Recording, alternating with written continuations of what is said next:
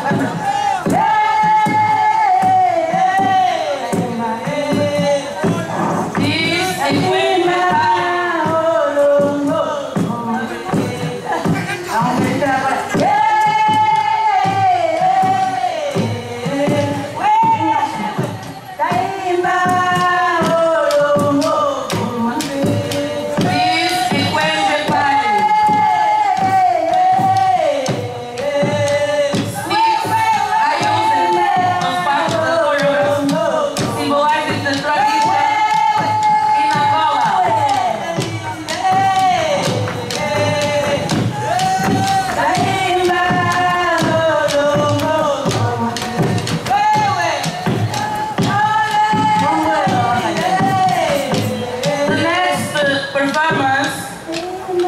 called Efiko. Efiko is a Nanyeka language, means the girl is a woman.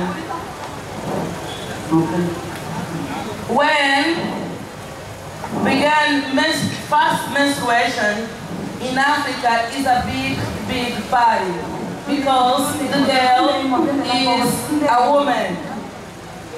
They spend seven days together, learning how to deal with house.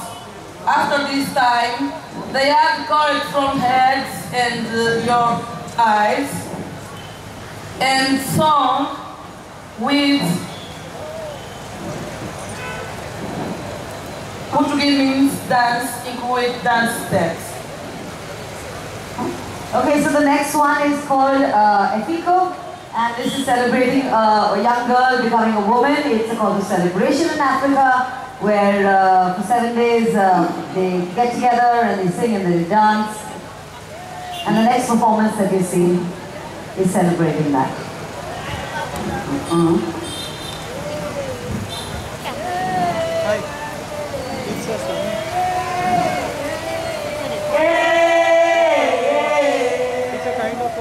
It's a